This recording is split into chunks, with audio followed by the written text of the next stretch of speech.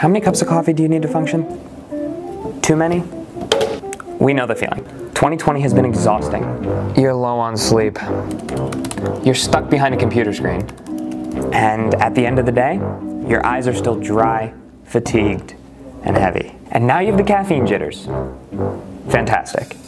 With Revitalize Energy, you can kiss the caffeine jitters goodbye. We've developed an energizing eye drop to give you an instant boost and help lift those tired eyes.